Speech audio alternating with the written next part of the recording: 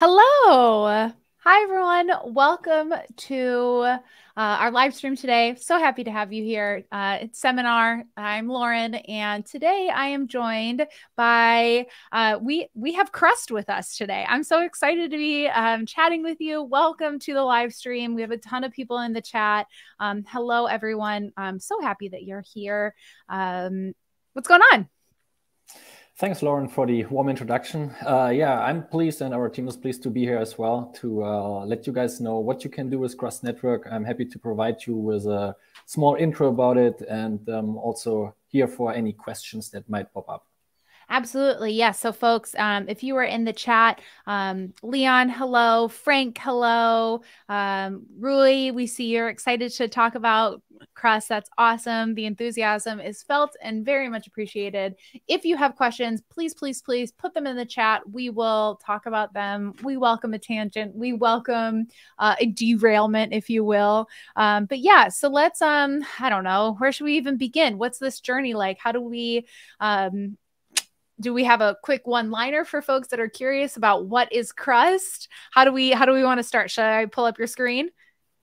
Sure Let, us just jump into it and yeah. um, i maybe can can yeah start talking oh about oh my god wait before we even start your twitter handle. Yeah. Um yeah. It's always a good uh, door opener Sure. Yeah, it's a good way to start it off. Um, okay, cool. Well, okay, so start tell me so you you do BD um, business development for Crust. What's your journey to joining this team? Tell me about yourselves first and foremost. Sure. Um, well, I'm I'm with Crust now for about two years. Um, okay. I, I, I, joined as a community manager, moved towards cool. European ambassador, and uh, now BD lead for Crust Network. Amazing before I started my journey in Web3, I also was involved in like um, the technical field. Uh, more specifically, I was working in uh, Web2 cloud computing for a software as a service startup for business applications. So for me, it was just the next evolutional step from Web2 to Web3. Yeah, and, um, I love that. I'm happy to be here. Yeah. And how big is the Crust team? Um, at the moment, we have around 20, 20 persons. Very um, cool distributed over the entire globe. Um, our head Love offices it. are in Shanghai. Our foundation is in Singapore. Okay. Um, personally, I am located in Germany. Um, But we also have some team members at the uh, Bay Area, San Francisco. And, yeah, uh, you have some folks in the US. We originally had this scheduled. So, okay, I should clarify. This it's 10 a.m. where I live. I live on the East Coast. Um, but we had originally booked this with someone on your team that was on the West Coast. So yeah, that would be 7 a.m. tech check around 6 a.m. for them. It wouldn't have worked out. That was like, you know, being global, globally distributed is a perk, but also, you know, time zones are tough. Um, exactly. Uh, uh, we got we have a Hello Crusty. Is that a nickname for Crust? I don't know if that works. Crust is yeah. That you know you can teeter towards some funny nicknames. I'm sure. Um, East Coast, yes. So yeah, we have lots of um, everyone. So happy to have you here and chatting with us today. Um, but yeah, okay. So what is what's Crust? Let's start Good there. Question. Thanks. Yeah, let's start there. um, yeah, so so to put it very simple, Crust is a layer one uh, blockchain built on um, Polkadot substrate framework yeah. for a specific use case, which is decentralized storage. Okay. And um, decentralized storage is something that maybe doesn't enjoy the the, the hype. Uh, you know like what? Storage is sexy. Stop it. No, do not give yourself that credit. Um, we have a coin question really quickly. Um, if CRU will be available, is that your that's your coin? CRU. Yeah. Okay. Yeah. Um. Uh, I read the question. Um, actually, we are working on it. Uh, okay. We, we are um, the process of opening multiple channels with, with other parachains cool. to actually launch or, or, list our token at um, decentralized exchanges in the Polkadot ecosystem. So oh. just be a little bit more patient with us. Yeah. Um, we're working on a channel with Moonbeam, with Equilibrium. We already uh, cool. uh, opened one, but uh, there's more to come. And uh, yeah, we're also working hey, on this. I should have asked you, are you going to be at Decoded in a month now? I realize it's so soon. I will indeed, and um, we also will be represented at the um, showcase Summit. stage with okay. a um, oh. yeah, with a speaking slot. And I personally will also join the summit, which is two days ahead of you. Oh my gosh, see you so soon. I love that. Um, okay, back to Crust. Yes. So you were a decentralized cloud storage protocol, and you're it's based on um, one of my favorite acronyms. Oh, I should say on this stream, we try our best to not use jargon to, you know, when we use a word or term to define it so that folks who are relatively new to the space um, don't feel left out. Um, so if we ever are referencing IPFS, we mm-hmm. should share it now uh, that it's interplanetary, right? Interplanetary will, file yeah, system. Okay. Correct but yeah, no, I, I will get to that. Um, I'm I'm, I'm happy to provide you with all infos that are needed to to to get the point. Um, if there are any questions, feel free to pop it in. If you don't yeah. understand something, if I uh, need to explain something more in detail. Um, um Jafar was we were chatting with Jafar two weeks ago, and we were talking about his journey to learn Rust. So that's amazing that you are learning Rust. You've got it now. You're an expert. All right, we need you. Please apply today. Um, yeah. And thank you for the answer for the coin. Yes, appreciate it so much. TLAs that can, G- oh, G- okay, yes, that okay, yes. We don't love acronyms. We're trying to be welcoming. I thought that you put GT go with the, the phrase that or the acronym that I always thought stood for go to the moon or go. Oh. T- TG, uh, let's go. I think it means like let's go to market. No, wait, actually, now I'm forgetting. But yeah, there's some that I like forever will be confused about. so yeah, all right, let's just That's then fun. dive in. Um, yes, this one, LG. I always thought that stood for going to the moon. I don't think it does, but anyway, it's easy to get uh, confused. Anyhow, so let's um let's dive in. Let's do it. Cool. Um, yeah, so so welcome again from my side, um, and uh, thanks for joining this live session. I hope you will learn something interesting and something you also might be able to utilize down the road, um, especially if you're building uh, in the Polkadot space yourself. Uh, but before we go into uh, what Crust networking specifically is and how we solve um, specific problems, I yep. would like to I would like to look at um, our motivation the, the importance of decentralized storage, maybe even the sure. evolution of uh, storage. A history lesson? I love it. Take me there. Okay. A little bit. We're trying um, to like make storage cool, is what we're. that's it, our goal. It, it is. It is indeed. It's cool. And maybe you see it the way I do uh, after this presentation. Yes. We'll be dreaming yeah. of storage solutions. I'm, I'm quite sure everybody has seen this evolution from Web 1 over Web 2 to Web 3. And sure. I like to draw this analogy for storage systems as well. And uh, in the beginning, we had local storage. So we had like um, huge data centers in companies. We had in our private homes, we had like uh, a lot of um, HDDs where we kept our data locally, which was really good because we were in full control of the data. We had all the ownership of the data. But on the other hand, it was inconvenient or at yeah to some degrees even very costly because again sure. you needed the hardware um, it wasn't very flexible you needed someone to maintain the hardware and so on um, and then we, we moved towards web 2 where we saw centralized cloud storage services sure. popping up aws google cloud dropbox um, this was very convenient because for the very first time we, we were able to experience the anywhere and any time principle to access our data. Yeah, um, suddenly we could pull it up on our phone and have that. Yeah, absolutely. And it's probably a solution a lot of folks are familiar with that are watching right now. Yeah, and, and, we do enjoy it because of the, the really nice usability and um, it's quite reliable but it also right. comes with some downsides. And oh, for uh, sure, of, it's incredibly problematic. Tell me why.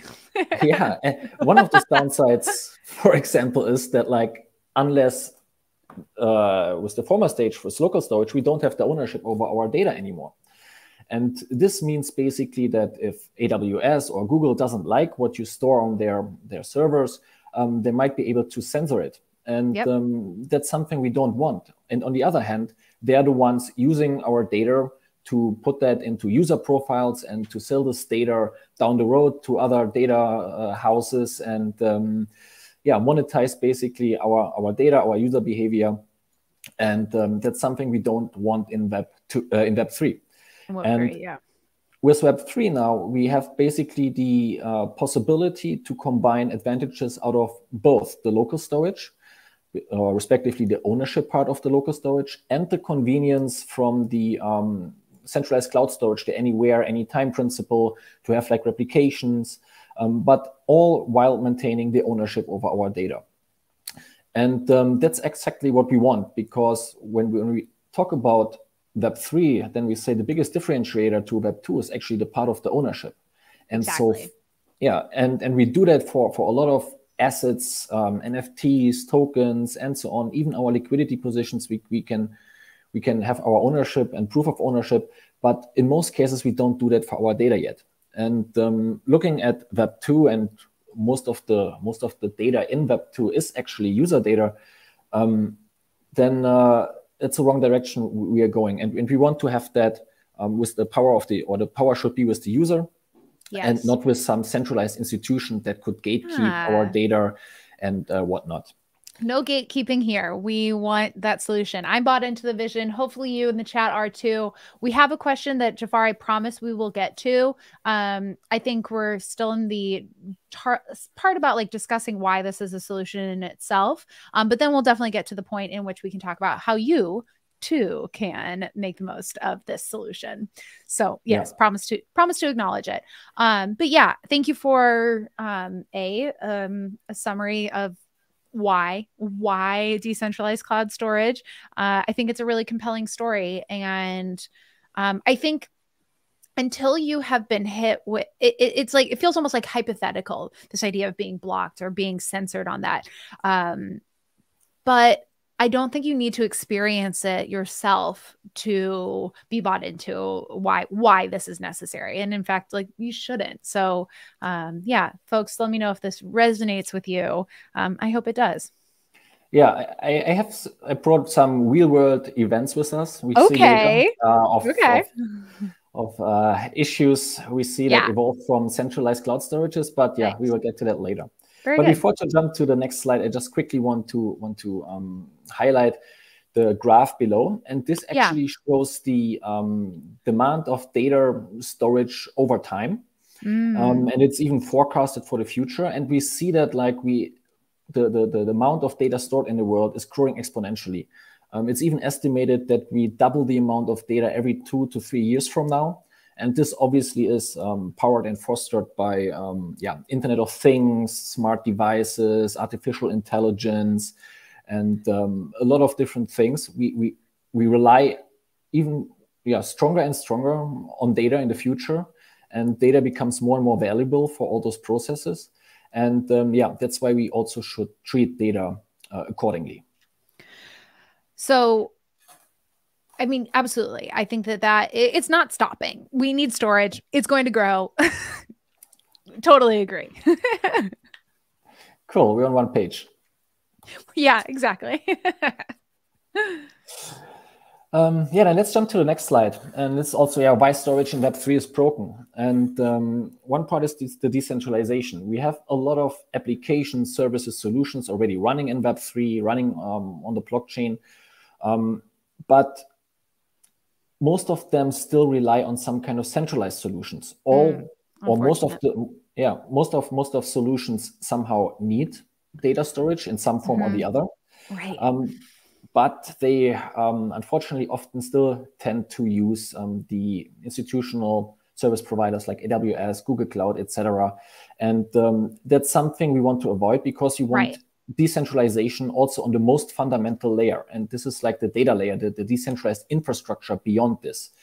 And um, when we have our data just in one data center in uh, somewhere in one location, um, then we are highly exposed to any kind of single point of failure events. And right. uh, we don't want that. We want to have replication. We want to have decentralization of our data and not one um, party in control. Right. And um, yeah, that's also the part of the data ownership. Another part is the availability. Um, we see that like we have experienced multiple downtimes of decentralized applications. Sometimes it's it's it's not as crucial. In some parts, let's say I have an open leverage position and I can't reach um, the user interface of my web page because mm-hmm. my centralized provider has an outage or a single point of failure event. Then like I might get liquidated and uh, I might not be able to close my position or to back it up uh, or sure. whatnot. Yeah, and I mean, it, yeah, it, um, the example was a silly one, but when the GeoCities, you know, it just it, things can just be completely lost, and someone else decides that, and yeah, I want ownership of it, right? Yeah, absolutely. True. And yeah, the next part is the, the availability, uh, the usability and interoperability. Mm. Sometimes it's it's hard to to to to, to work and to operate with solutions that are already existing, and um, there's no real interoperability or frictionless interoperability. And that's something uh, we want to change with Crust Network. And yeah, what is Crust Network? Let's get to this point. And as already said, Crust is a decentralized storage protocol and we utilize the IPFS um, file system. IPFS stands for Interplanetary File System. Mm-hmm. It's a new way of addressing data in the web. And the big differentiator between um, normal, let's say, HTTPS based uh, addressing of data is that um, IPFS uses or addresses the data itself and mm-hmm. not the location where it's stored which means um, I could, for example, if you're in a room with, with uh, 10 people, I could say, um, Lauren is, or when I want when I want to talk about you, I could say I want to talk about the person sitting on chair number one in, right. uh, in, in, row A, or I could say I want to address Lauren because she is sitting on on chair number one A, and um, by having the by just addressing the location, you could get up and somebody else could sit down in your chair, but uh-huh. they still address the same location. So the content might be different. And that's what IPFS is solving very nicely um, with uh, CIDs. They call that content uh, identifier. Mm-hmm. And this is basically like a normal HTTPS link that points yeah, to a location. Absolutely. Just instead um, it points to the data. And we we actually so wait, let me switch my camera real quick um, to we in the past have you i oh you can only kind of see it but it's the um cubbies that i have. Um we use those as examples sometimes of like we can reference that um and i think it was KILT that we were talking about it last time. Um but yeah so that makes sense. Um and how we like organize it and the matchmaking service that happens. We have a couple questions in the chat. Um, don't want to get too derailed, but um, I want to say here, Richard, saying that we love the idea of a decentralized storage to remove the need to use services like AWS. How many dApps are already running on Crust? Mm-hmm. Good question. Um, we already have multiple dApps yeah. and services running on Crust Network, especially uh, within the Polkadot ecosystem. I have some very specific use cases with me uh, in some we'll slides cool. below.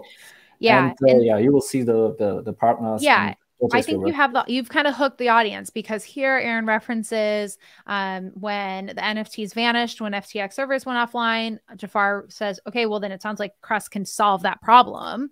If, yeah. If if utilize, so yeah, I think we you have and, made the like connection folks are into it we're we're all and then it also if we could test the storage services you know how do you know if it's working? That question came up as well. Cool.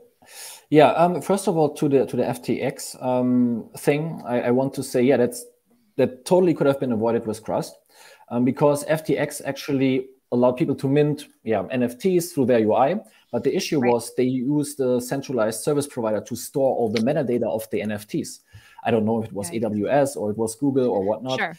But um, when FTX went down and they went bankrupt, then obviously they stopped paying for their services to, to run their business. And um, so FTX basically stopped paying AWS or Google Cloud or wherever they had it stored, and they uh, deleted the data, and all data was vanished. And mm-hmm. um, that's let's say the link in the NFT contract is still existing, but when I want to pull up this link, it ends at a very expensive 404 error page. And um, that's something we don't want, want to have in uh, Web3 when we're talking about uh, digital assets that might be worth, I don't know, five, six digits. Um, we want to have a guarantee that it uh, that the data stays available. We don't want to put the trust in one centralized provider who has to guarantee the data, has to make sure that my data persists online. Um, yeah. We want to have, in best case, the a guarantee and with on-chain proof and uh, ownership uh, with ourselves. And um, yeah, that's could have been avoided. Great. So great exactly. example then, for sure. Mm-hmm. And uh, yeah, Crust can be tried out um, quite easily. Our product okay. is totally live and running, uh, fully operational. So we have different um, op uh, options to try out our product via our decentralized storage market or via our um, yeah apps like crustfiles.io. It's like oh right, which we'll get to. I kind of want to shout this out, this comment. We don't want you to be perceiving Crust as AWS. It's not switching out one for the other. It's a different solution that isn't centralized, right? Like that's um it's not just like another version of it though. It's um it's it's no, it's not another version of AWS. Right. It's a, it's a totally different file system. Exactly. Exactly. Um, depending on the use case, uh, I we can't do everything on Crust Network because in some in some situation and scenarios, centralized service providers still have an advantage, especially when we want to um, combine it yeah. with cloud computing resources and so on. Um, but for for most of the use cases, Crust Network can be used just as AWS, but it's a little bit different. Um, yeah. But it it works basically um, comparable. Yeah. Okay. So data is fragmented and stored in multiple node locations, and then those pointers are also hashed from Richard. Yeah, I, IPFS fragments the data um, already, so that's not specific, not Crust specific. Um, yeah. What what is Crust specific is that we work with a high replica approach, which means yeah. um, we provide you with a lot of repli uh, replicas distributed over our network um, mm-hmm. because in normal IPFS, you don't really have a guarantee over how many replicas you get, and also no guarantee for how long these replicas will stay available, because the IPFS network in itself is not incentivized, which means everybody providing their resources is doing it on free will, and right. um, they have also no real incentivization to hold on to data for a very very long time money it, it blocks their capacities and uh, might drain their, their, their bandwidth or whatnot. So um, to have this to, or to, to, to, to, to make sure that you have this um, replication and to have your file availability on IPFS, that it doesn't vanish, you need to pin your files. And that's exactly what Crust Network is doing yeah. by pinning your files to our network with a very high amount of replicas. I think on average, we have 33 replicas per file distributed on our network. And um, yeah, this also ensures decentralization on the most physical file level, right. not just um, yeah, on the protocol level. Cool. Awesome. Thank you for that. I, ho I hope this answered the question. I think it does. Yeah. Cool. Yeah. And uh, we provide such an incentive and service layer for the IPFS framework, which okay. means um, users or people who want to provide their resources to the IPFS network yep. can join our net can join our protocol mm-hmm. and provide their resources to our network. In exchange for that, they receive rewards. On the one hand, they receive blockchain emissions, and on the other hand, they receive the actual um, service fee from providing their resources. Okay. And um, yeah, we have a protocol stack in between that basically matches the demand and the supply side. So um, on the one hand, we have the um, the, the, the network mm. which is our decentralized physical infrastructure, all our storage resources. And on the right hand side, we have the demand for different cold storage applications, hot storage applications, hosting, file sharing, whatnot. And yeah, in the middle, we have our Crust protocol stack and our um, interoperability layer with different Crust storage interfaces, APIs, uh, software developer kits. We have a um, storage pallet on Substrate um, very a lot of different endpoints to actually connect with our um, protocol and to use our um, storage capacities. Yeah, yeah. Um, cool. Yes, Jafar, I think that that, yeah, spot on. So, oh, and you know what? I skipped a question. It's a competitor question. Um, Akash, a cache network and how we differentiate. Um, I, I know Akash network. I'm not I'm not too familiar with it, but I know they focus more on the cloud computing part or, or the cloud computing together with storage. But as far as I know, they don't use IPFS. And we specifically. Mm-hmm. Yeah, I don't see anything called out from them about that in their. Yeah, we specifically chose IPFS because uh, we believe IPFS yeah. is, is the most adopted, by far, the most adopted um, decentralized storage protocol out there. Um, nice. It's battle proven.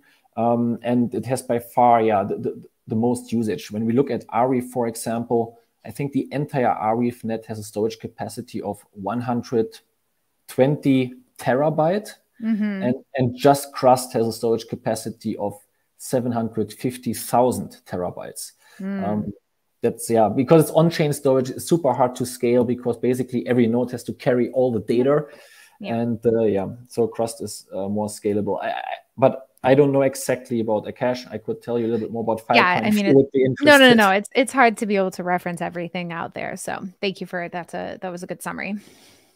You're welcome. Okay, let's move on. Yeah. Um, yeah, uh, let's look at some network metrics. Like I already said, we have um, 725 petabytes of storage or 725,000 terabytes. Um, we have uh, at the moment 1,724 nodes that contribute their storage resources to our network.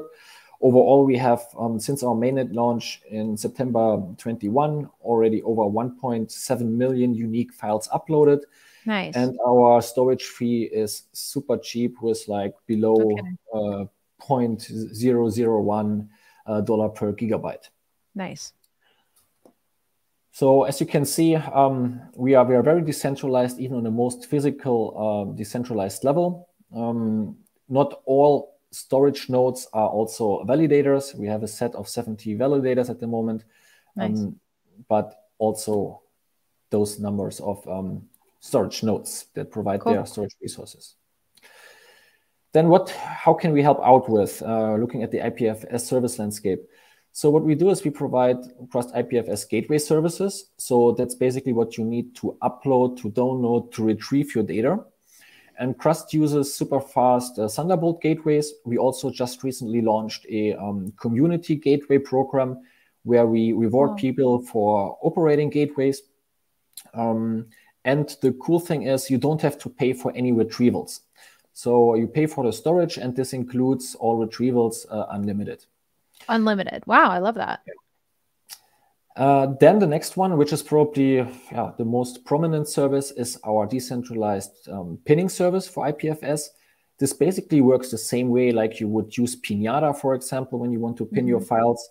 And what makes us special is that we have a multi-replica file storage approach um, with, yeah, on average, our 33 replicas, all distributed all over the world. And this also make the performance better because IPFS can retrieve data from multiple sources at the same time. And obviously, when you have more nodes carrying the data or hosting the data, then you can retrieve it from multiple end sources at the same time. Mm. And at the same point, the chance that a node is close to you to improve latency, etc., is higher than if you just had uh, one replica in a centralized data center, again, operated by a centralized um, provider like Pinata. Yeah, sure. Cool. And last but not least, we also have different file query services um, with our Storage Explorer, where we can validate um, our guaranteed availability, where we can validate the numbers of replicas. We can see which nodes hosts my data, and all of this um, can be checked out to Is provide this... users with full transparency. Is this correct? Um, it's a monthly storage fee. No. Um, yeah. We have we have different kind of models. So um, right. our the the minimum storage contract length is six months. Okay. So um, and everything above is possible. So you can prepay your storage. You can say I want to um, add a budget to store this file for over 200 years if I want to. Mm-hmm. I, I, can say I want to use a kind of subscription based model where I pay as I go. So I mm-hmm. could um, upload a file and I can mm-hmm. um, attach or associate my account with this file. And every time this file expires, it will be renewed and the fee will be taken from my account. So it's like an automatic renewal if you want so. Okay. And this, this will be extended as long as you say, oh, no, stop extending the file. Sure. And then we have a question around file corruption. Mm-hmm. Um, one second. Okay, um, yeah, that's one of our protocols. Um, that's, for example, we use our meaningful proof of work mechanism.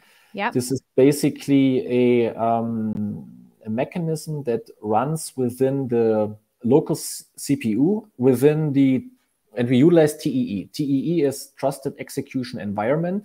It's basically an enclaved and secure environment within the local CPU um, where nobody can interfere with. And that's that's basically where we do all data processing. At the same time, um, we have a work inspector that basically checks the nodes for the availability of the data.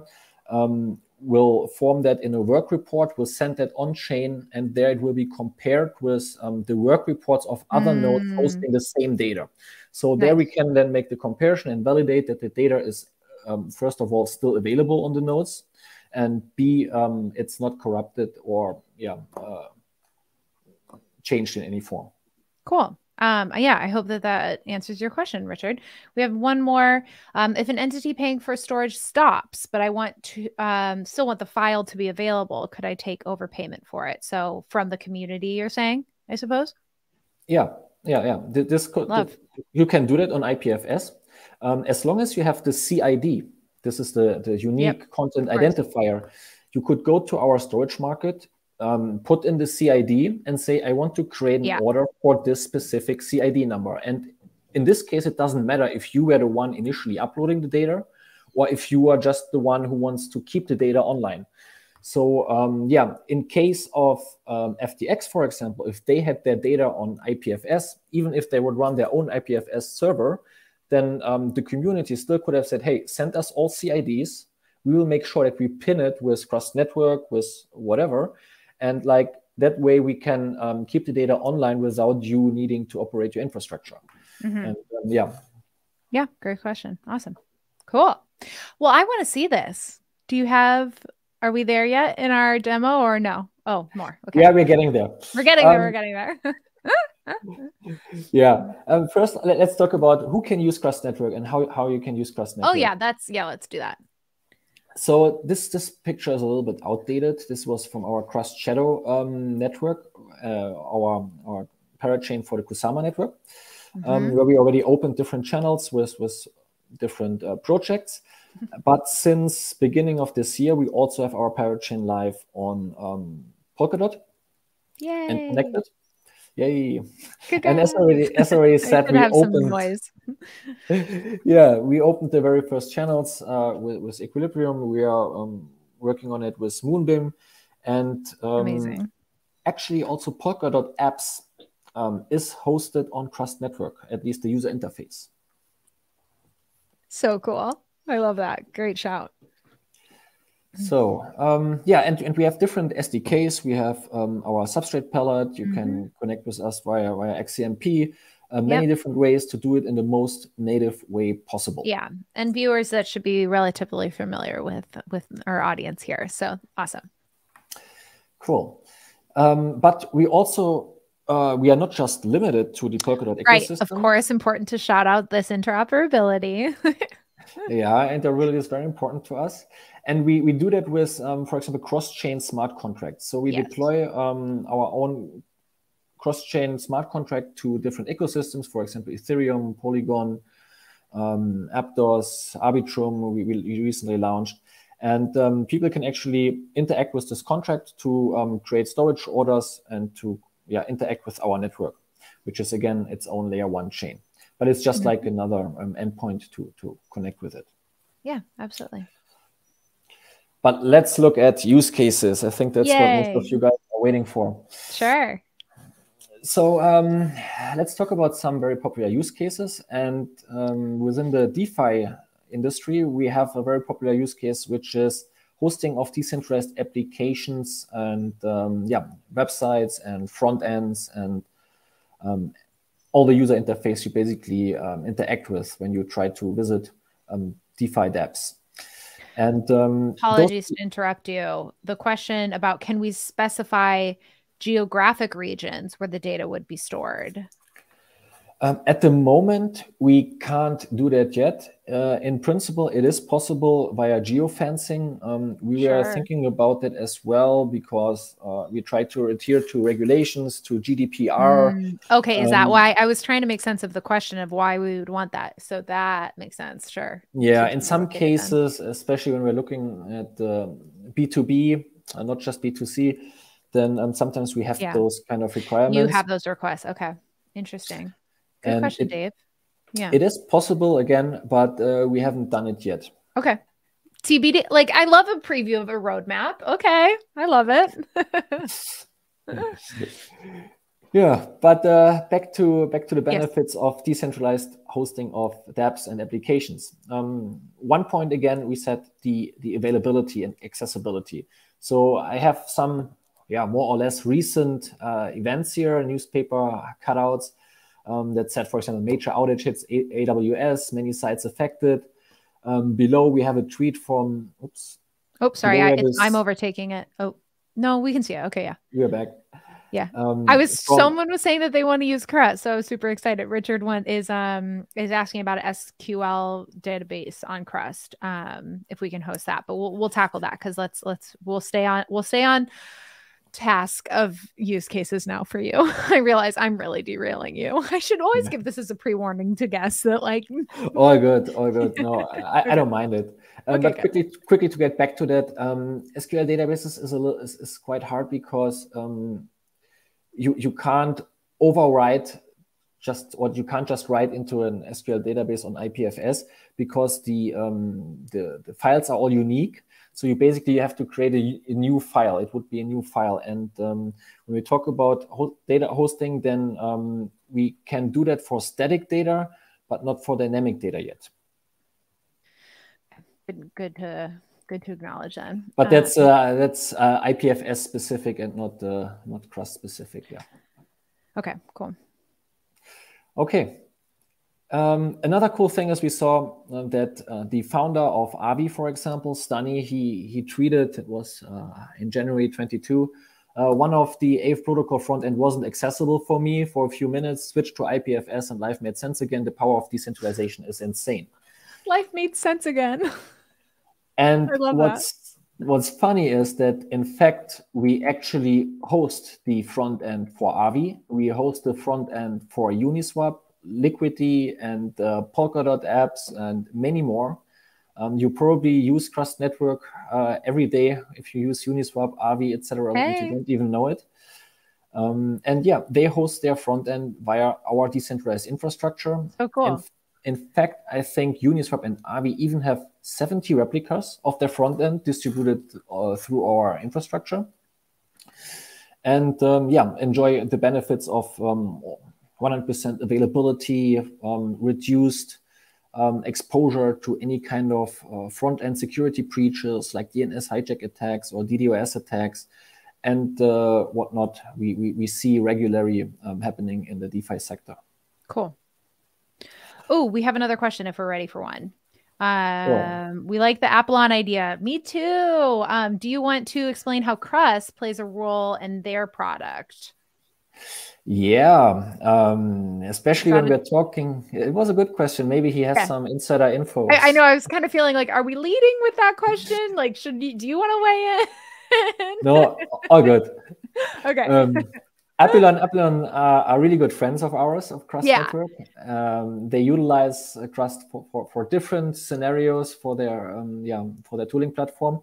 Yes, actually, and, and Frank, if you're if or we should get someone on Apillon from Apillon to join the seminar. So let's make sure we do that actually as soon as possible. If anyone is watching and can reach out, please, please do. Um, but yeah, go ahead. I can provide you with a contact if needed. Thank, yeah, yeah, I, I know, but if if anyone's watching, is what I'm calling out. Maybe they are. Um, yeah, but there is like something really new in the works, um, especially looking at website hosting, because um, sometimes we still experience some some issues for users that are not too familiar with IPFS hosting, especially mm-hmm. when you mm-hmm. want to want to associate your your normal DNS with your with your IPFS link or with your IPNS yeah. and so on. And um, Crust Network basically focus on providing the technology, providing the resources, the storage, and Apillon is uh, yeah making it as easy as possible for exactly. all developers. And you soon can expect a, a nice service. And we're also going to launch an initiative to host um, decentralized or to host websites cool. and dApps totally decentralized. And this will be yeah launched by Apillon and Crust in in combination. Sounds like a good collab coming up very soon. Also, I should say, Snowmead, thank you for the follow on Twitch. We appreciate you. Uh, I know folks are kind of tuning into from all different places, which I love. Um, but yeah, thank you for the follow there. Cool. All right, what do we have next to next to um, DeFi? There's also NFT storage. Mm-hmm. We already talked about it briefly. So on the one hand, um, we have the the token itself that runs on chain, the contract, and the contract points to the metadata. And the metadata is actually the the audio file, the PNG file, the characteristics right. of it. All of this is um, stored in the metadata, and this is right. usually stored off chain um, as far as I don't use ARI, for example. Yeah, no, no, good clarification. And um, this off-chain part again is mostly provided by AWS, by Google Cloud, and and others. And um, we have this this link, which is basically pointing to the metadata. And we already said earlier that when I have a location-based addressed link, then the content behind this location can change. So if I have an AWS link here, um, and this contract stays like that for next 50 years, but Amazon um, or, the, or the, the, the, content creator is not paying for the storage anymore, or Amazon is deciding to, to host another content behind this right. link, um, right. then you can't reach your, your NFT. It won't be shown. Um, you can't access the metadata, and it's basically worthless. Yep. And um, that's something we have a solution for. We can store it permanently. You can prepay for your NFT metadata for up to 909 years if you want to. Um, it's fully immutable. It's guaranteed by a decentralized protocol, and um, it's fully native with IPFS. So it's a it's a very bulletproof solution for for yeah. NFT. Yeah, nine hundred and nine. Am I being am I novice on understanding the what where that number comes from? Well, when we have like a, a, storage price calculator, and at some point it just says uh, 990 years plus. So oh, 990. Okay, I was like 909 feels very specific, but so does 990. Okay. Oh no, um, sorry. um, okay, cool. Very interesting. And we also work with with different projects. So um, mm, RMRK, yeah. Um, already is working with, with Crust, cool. and we have uh, Crust NFT. It's like an, another product we're working on. Um, NFT Go, we work with Ternoa. Um, it's another substrate-based chain, um, NFT-centric chain. Mm-hmm. They recently, I think, moved 300,000 NFTs um, to Crust Network. Mm-hmm. And yeah, uh, there's a lot of a lot of uh, usage and uh, adoption for for NFT metadata storage. I and so back to, back to the cost question though, like it's going to totally depend on the usage of it, right? Um, in, in in which sense do you mean that? Um, yeah, I guess we could like hear some more uh, like in depth for this question. So feel free to carry on. cool. And uh, yeah, decentralized social is another point. We talked about censorship. Nice. Um, uh, we saw here recently that was also not too far away. Um, when was it? Oh, the data is not shown. But um, Bankless, a, a very popular um, very popular YouTube channel yep. got censored basically by YouTube um, without any warning, no justification, no notification.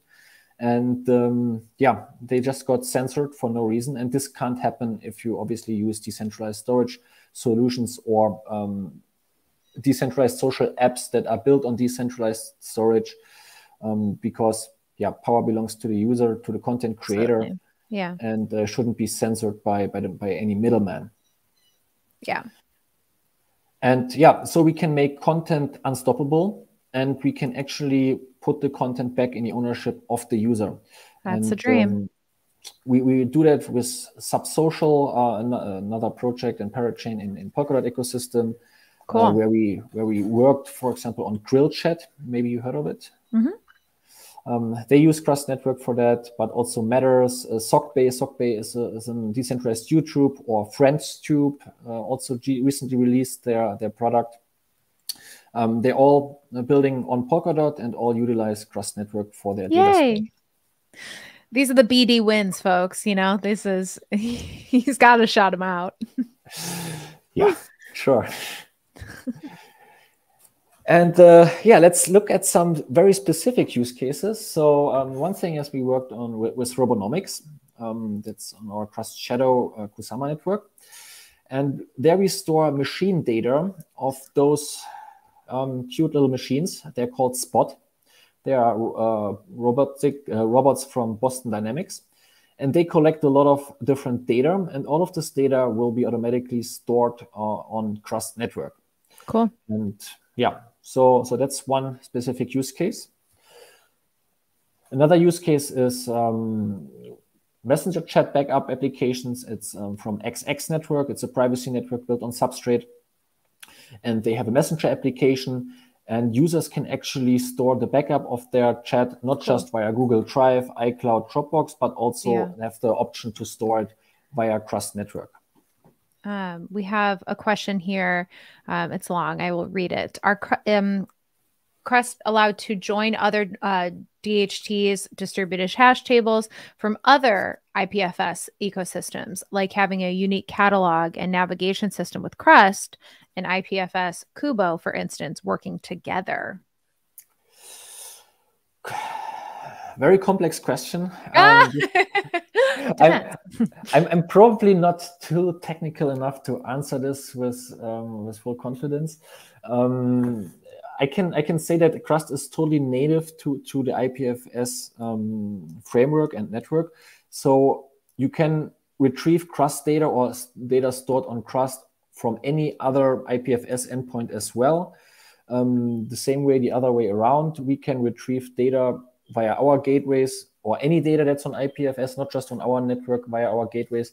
So I think the um, compatibility should be there. Okay. Um, but yeah, it's this question is a little bit too detailed for me to give you a to follow up. Do we have a way to reach out to someone, or I would love to? Yeah, sure. I can. I can. I'm happy to reach out to my uh, to our CTO. Yeah. Get them on actually, screen. No, we can. Uh, actually, let me copy paste this question. Maybe. Perfect. Can, um, Thanks. We can see. Okay. Cool.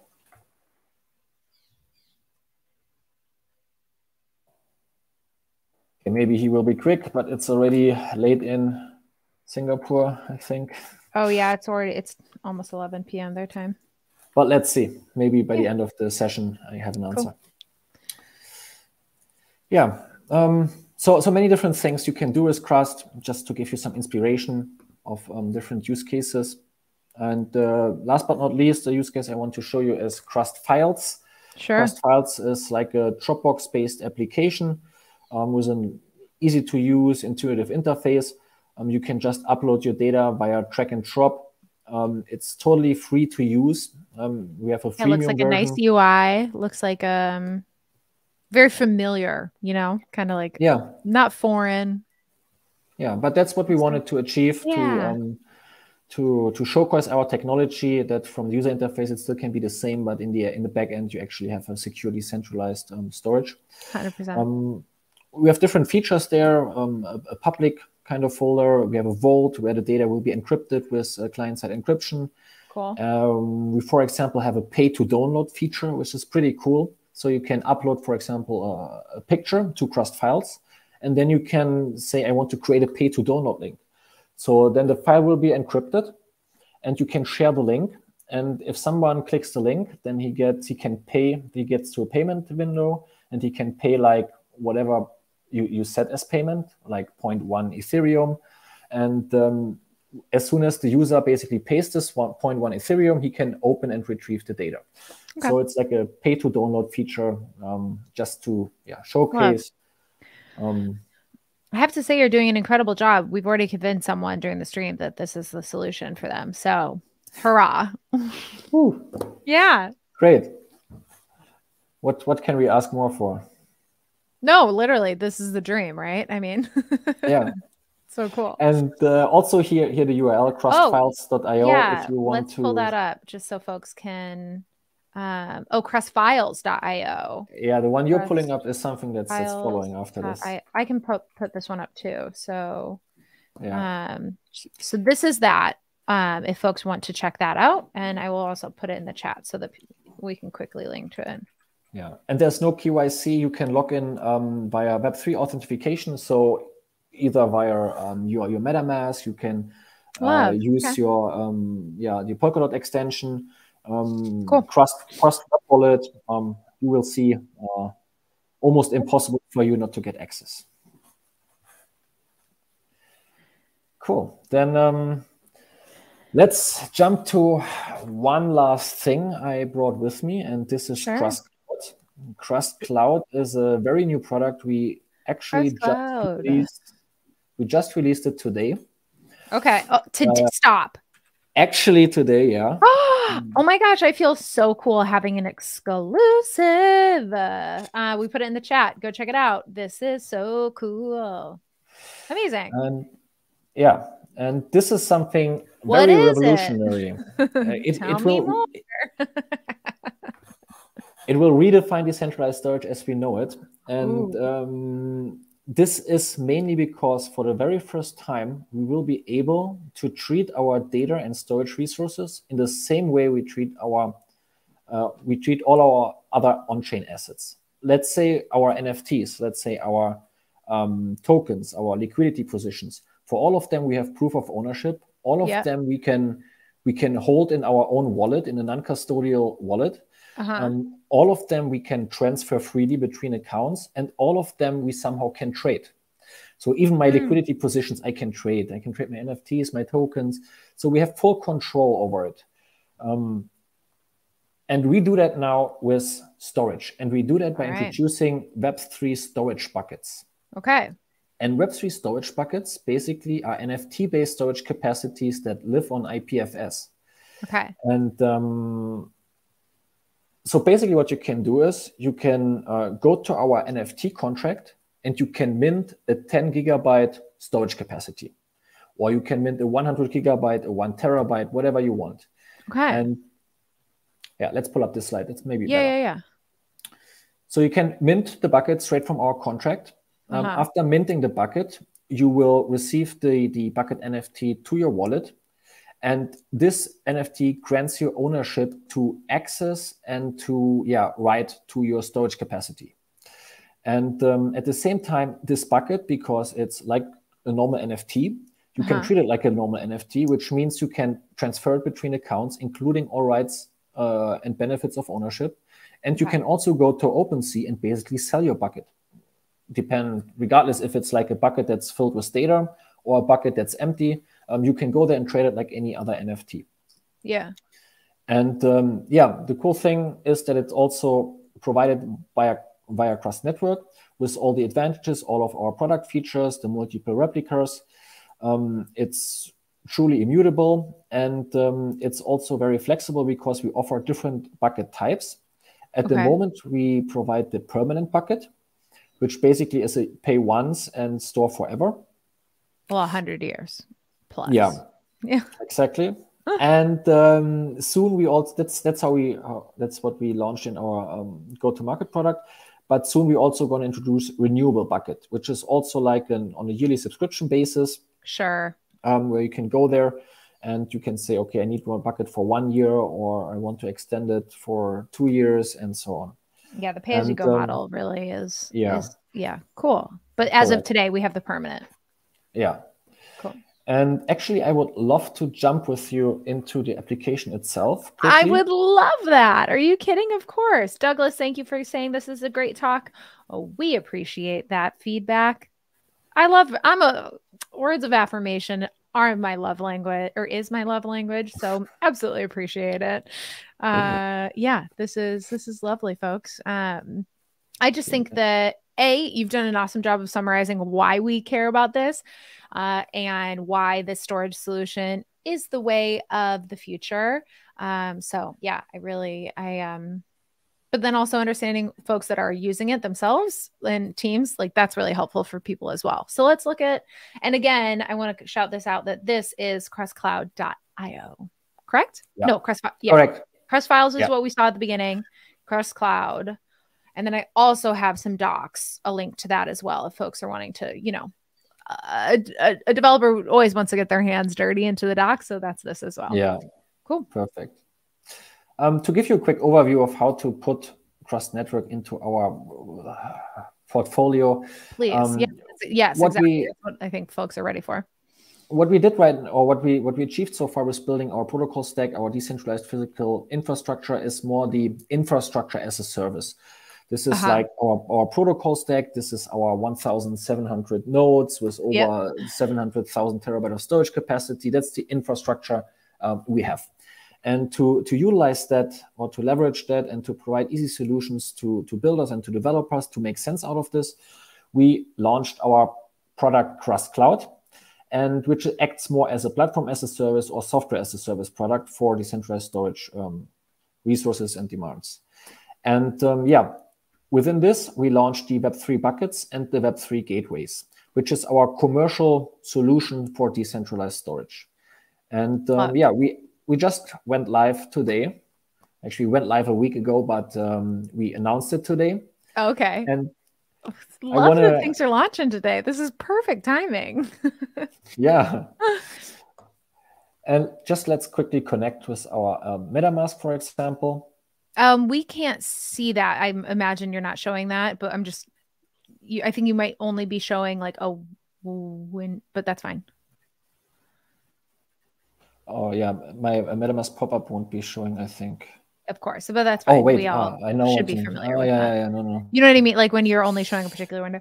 Um, Crust token available in StellaSwap. Yeah. We talked Sorry, about token I... earlier. We're working on that. Um, that's soon. PokeSwap Crust. Let's go. Let's go. okay, let so, me know when you're ready for and I will pull it up. Okay. You want this? No, you should see the screen.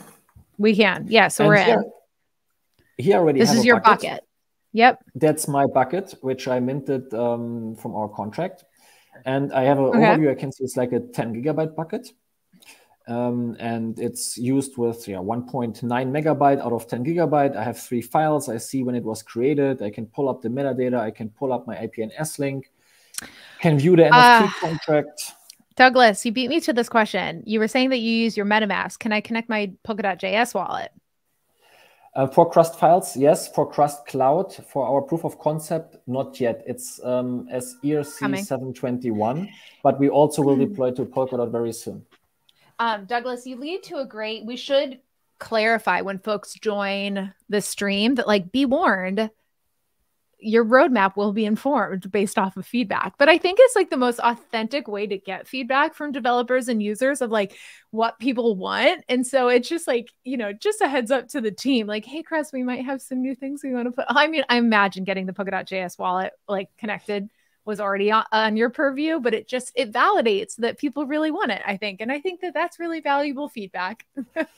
Yeah, and, and in fact, we even have some yeah applications in the Pocket uh, in the Pocket ecosystem that already utilize those mm-hmm. buckets. Exactly. Um, even if they are on as ERC seven twenty one uh, NFT at the moment, um, like for example, Grill Chat for Subsocial, we recently uh, launched an, an, article together where we explain how we utilize those buckets to store the chat backup or user history in those yeah. buckets.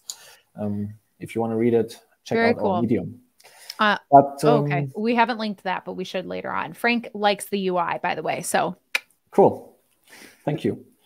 Um, You're welcome. Yeah, and we can we can enter this bucket. Okay. And we can enter this bucket by yeah either uploading just uploading any data from our um, nice. desktop PC, um, or we can use different APIs to actually um, put data in our bucket totally automatically. Love it. Yeah, I mean, I feel like this is exactly what I would expect to see in there, so that, that's cool mm-hmm. and then link to the docs. Sure. Yeah. Smart. But let's mint a new bucket. Okay. Um, I can say mint a bucket. And uh, I told you we at the moment offer only the permanent bucket. So uh-huh, it's like um, soon. Yeah. You pay once. Yeah. And mm-hmm. this is the permanent bucket you pay once and you have storage basically guaranteed forever. And we also have different kind of bucket sizes basically theoretically we could scale them in any size if we want to um, but we started out with those three different options and um, then you choose your bucket you go in the next step and you go like a normal um, let's say minting process of another nft my metamask opened again that i have to confirm and sign right i will get some different information i love okay I get the IPNS name of the bucket. It will be generated and published to IPFS. Then I can even customize my bucket itself a little Ooh. bit. Ooh, purple, purple. Okay. and uh, yeah, then it basically creates all the metadata it will uh, be stored or prepared to be stored decentralized on Crust Network. Hello. And in the last okay. step, in the last yeah. step, I make the payment uh, process. Okay. I'm going to skip the payment now, um, but I think you all know how that works. Mm, yeah. and um, at the moment, we have yeah, we we we offer the storage, cool. the permanent storage for one dollar per gigabyte permanent storage. Okay, good. So that was remember. I think there were some folks asking that question, but that's helpful. Wow, that's awesome. This is so cool. I think we have a lot of folks that are enthusiastically like stoked to go try and to build. Um, yeah. And because... yeah, I think you, you're also your audience is wide. This is who doesn't need this, you know, like. Yeah, and this is opening a lot of doors for new use cases with, with a lot yeah. of uh, new benefits. Let's think about the decentralized social, the Facebook of tomorrow. Um, when we upload our data to to those platforms, then we upload it basically to the operator of the platform, and the mm-hmm. operator again chooses a storage solution. Yeah. Like even even if the the platform is decentralized, mm-hmm. if the uh, platform operator uses AWS to store all the data, then like we still don't have user control, right? And, or user ownership. And in this case, we could assign a bucket to every user account. And when I upload my selfies or my videos, yeah. I don't store it and upload it to the platform operator itself. I upload it to my own bucket where I control the data, where I can transfer the data, and where I have full ownership of my uh, content. Yeah. And um, wow, the same with same with um, NFT collections. When I'm creator, I want to upload a 10k collection. I don't want to open upload it to OpenSea. I don't want to upload it to, to to AWS. Why can't I upload it to my own bucket? And so I can upload exactly. it to my own bucket, have full ownership over it, and um, yeah, we'll we'll never have to trust any third party. Um, yeah, I mean, a perfect summary. Okay, Douglas has become my official question asker of the stream. Please join me in all future streams. Really appreciate it. Um, payment, um, always in ETH? Nope. Um, we will, at the moment, yes. Again, we just launched we'll today. But, of uh, course, yeah, yeah. we're seeing this very early version, folks. we will be adding uh, at least one stable coin and also um, our own CRU token because we have an ERC20 token uh, also on of our own token. Cool. So uh, since this is on ERC20 at the moment, or uh, ERC 721 to be correct as, as NFT contract. Um, yeah. Yeah. Uh, but right. again, we will we will branch out to Polkadot to other ecosystems, and um, we appreciate we, it. Yeah. and then uploading size limitations. Um, the we are we are in this case we are limited by IPFS itself. IPFS sure. has an um, upload That's limitation. The of yeah. 32 gigabytes, I think, per file. Okay. Okay. Oh, and then this is a good question. Um, can I assign a DID to control a bucket? Yeah. Yeah, yeah, you could yeah, do that. Absolutely. You could do that. In, in fact, um, we we also great use case. Love, love that. Yeah. We also talked um, with, with different um, DID projects, um, but there we come back often to the to the uh, GDPR again, mm-hmm. and the uh, uh, sure. So it's it's not not so easy. Um, of course. But it's technically uh, possible. It's yeah. if anything holds us back, then it's regulations again that that require for uh, geofencing or, or mm-hmm. anything else. Well, Jafar said it the best. Dad, or well, and I think you said it first too as well. But this is the database for tomorrow. Um, yeah, I really, I really appreciate you showing and sharing all of this with us today. Um, I think folks are really stoked to go play and experiment and try out their own particular use cases. Where can people reach out to you and your team to learn more um, after watching this? Because again, you know this this video will live on on YouTube. So hello to us in the future. Um, I hope you're well, and um, thank you for watching this. We uh, would love uh, to. I'm sure you there's a way for people to to ask questions and build community within the crust ecosystem yes? Yeah. Sure. Um, feel free to to to either get in direct touch with myself. Um, mm-hmm. i think i had my, my my, my my twitter and my telegram somewhere. If not i can yes. post it. Um, we also we also are available um, via discord and okay. um, you have a discord so all usual social channels you can you can reach us anytime Awesome. Let me pull up some links um, that you all. Um, did you? do you have a link to your Discord? Yeah, oh yeah, you got it. Okay. Um, if data is considered a valuable commodity, then data storage should be considered a store of that. love it. Love it. Okay. So follow on Twitter. Crust Network is where we should go. Um, and you are what? Jesus in crust? The, what was it? The, I will put it. Oh, wait. Can I put it in the The Jesus crust. Oh, there's a the too. Okay, so yeah. the um, and then wait, Underline. was there an underscore? Underscore Jesus underscore. crust like that. So wait, you're locked into crust forever then. Like this is your social media. You are declaring it loudly. This is um oh That's oh my perfect. gosh. Okay. Perfect. Um, yes, go pepper him with questions. So fun. Uh, this has been such a joy. And then of course also, yes, me too. This is truly um one I will not forget. Uh, folks, thank you so much for joining me this week. We uh, stay tuned. Of course, we'll have um, more great, you know, uh, presentations and whatnot uh, coming up in the future. We will, I will see you in Decoded. Uh, that is so exciting. That's very soon. And yeah, I really, um, as always, had so much fun. Folks, thank you for asking your questions. That is truly my favorite part about all of this uh, is being able to hear from you and hear your questions. I hope that this was informative for you in regards to like what people are wanting. I think that that is that's really valuable data hopefully uh, but yeah. yeah. until next As time. As already folks. stated, oh, everybody ahead. needs some storage. And um, thanks, guys, for tuning in. Really appreciate it. And uh, thanks for your absolutely. awesome questions. And uh, thanks to it. you, Lauren, as well, obviously hey, I have a, I have a really fun job, right? Like that this is what I get to talk about all day. Love it. Um, okay, cool. I will see you all soon. I believe the next episode that we have is someone from oh, my friend Tarek from Parity is joining. We're talking about tooling. I'm super excited. Uh, uh see you then. Bye.